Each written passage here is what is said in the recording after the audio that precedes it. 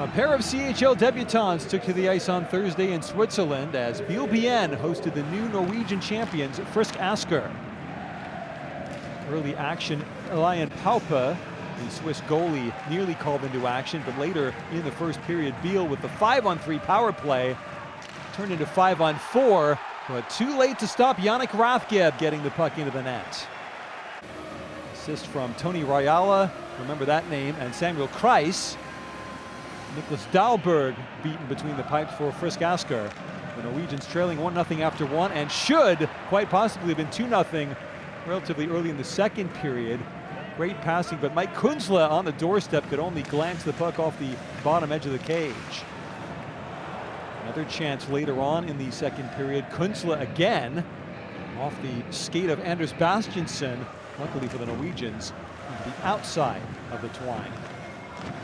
Frisk later on in the second period, Nikolai Andresen taking the feed from Bastiansen and beating Paupe from about 10 feet out. Smart finish from Andresen.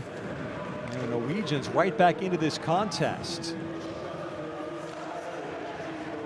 Then later on in the second, a chest save made, and then the rebound not beating Dahlberg in the end. The puck in the blue paint for a long time before Dahlberg able to pounce. Player going down to the ice in front of the net was Jan Neuenschwander. And then a mad scramble with Fabian Luthi among those poking at the puck. Then into the third period, somehow missing Kunzle again. Not his night, I'm afraid. Nearly shuffling that puck into the net on what would have been a great pass.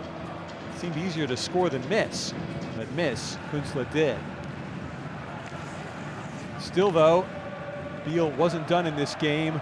Good pass to Rajala. I said remember the name, and that's why. Into the net from Anton Gustafsson's feed.